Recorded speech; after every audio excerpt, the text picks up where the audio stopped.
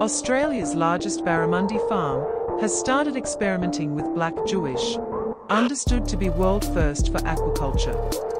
Key points Black jewishfish are valued for their meat and thick swim bladders. Black jewishfish are valued for their meat and thick swim bladders. Humpty Doo Barramundi Farm is expecting to harvest its first black jewels in two years. Humpty Doo Barramundi Farm expects to harvest its first black jewels in two years. Darwin hosted the World Fisheries Conference this week. Humpty Doo Barramundi in the Northern Territory is currently home to thousands of juvenile black gems bred by researchers at the Darwin Aquaculture Centre. Jason Clark, the farm's fish production manager, said the team was excited to see if black jewels would be suitable as an aquaculture strain. We've shifted them into a cage inside one of our ponds and they are growing very nicely, he said. Now they are up to 300 grams and doing well. The farm produces over 100 tons of barramundi each week and has now dedicated some of its ponds to the Black Jewish trial. Mr. Clark says there are some key differences between farming jewfish and barramundi, including how they are fed.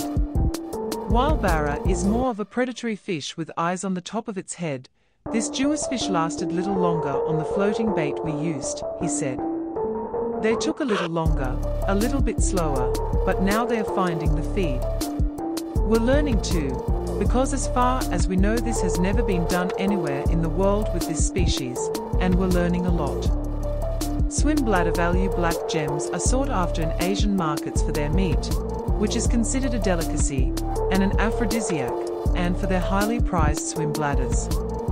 The swim bladder, or airbag, is an organ that regulates buoyancy in fish. It thickens much in black jewish than in other species. There has been a growing black market trade for them in recent years, with the bag selling for up to 1,000 per kilogram. The swim bladder of a black jewish can be extremely valuable. Mr. Clark said the potential for breeding black Jews could benefit consumers and the species. Raising them this way potentially dissolves the black market and preserves species in the wild for future generations, he said. We estimate that the growth rates of these fish will be similar to barramundi, and they will be ready to harvest in two years. Great fish, but also cannibals aquaculture researcher Andrea Taylor, has been involved in black jewelry cultivation at the DAC since 2018. The project has received funding from the North Australian Cooperative Research Centre, she said. It will address knowledge gaps in the four production stages of fish hatching, larval rearing, nursery and growth. Ms. Taylor said she has a lot to learn, including reducing cannibalism.